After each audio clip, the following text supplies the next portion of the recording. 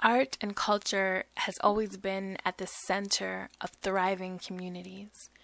As a spoken word performance poet, facilitator, event curator, I know how expensive it is to create spaces for people to gather and participate in artistic events.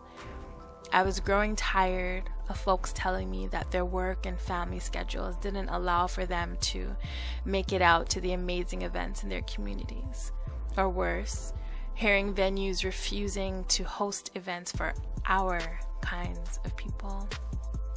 We're done with the coded discrimination and oppression. With the use of technology, we can bring the vibrancy of in person events to digital audiences everywhere. No longer are we limited by time and space. Now, art organizers can bring their creativity directly to your laptop, tablet, or smartphone.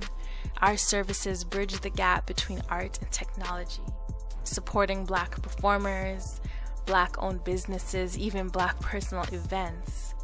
We help you engage your audiences digitally while keeping the vibes. KTV was born as a response to the need for people to connect, build community, and tell our stories regardless of geographical location. If there's ever been a need for black people to control the narrative, it's now. We need to be our own entertainment, education, and support systems. We need to be in front of the camera and behind it. I'm Amoya Rea the artistic director and founder of Keep the Vibes Media, a virtual production company that provides the technical direction required in producing events designed to be streamed or shown digitally. This is the future. This is KTV Media.